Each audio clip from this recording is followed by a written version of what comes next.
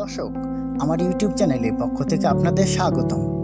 সুপ্রিয় দর্শক, আজকে আমি আপনাদের সামনে তুলে ধরব বাংলাদেশের পঞ্চগড় জেলার একটি ঐতিহ্যবাহী কাঠের সেতু সম্পর্কে।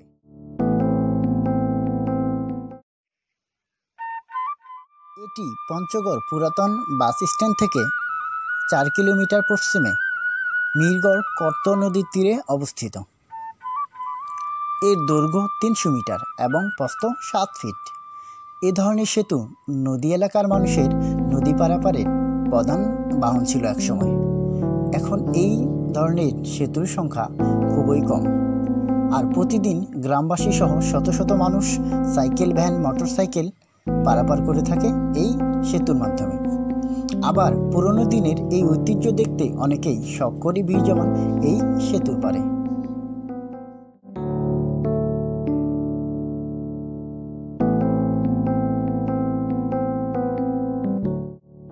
নদী ও সেতু মিলে এক অসাধারণ পরিবেশ সৃষ্টি করেছে, যা যে কোনো মানুষের মন কাড়ার মতো।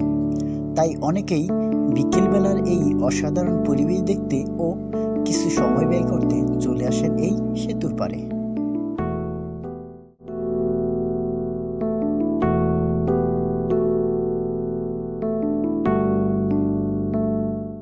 সেতু দিয়ে পার হওয়া প্রত্যেকের কাছ থেকে জনপ্রতি পাঁচ টাকা করে নেওয়া হয়।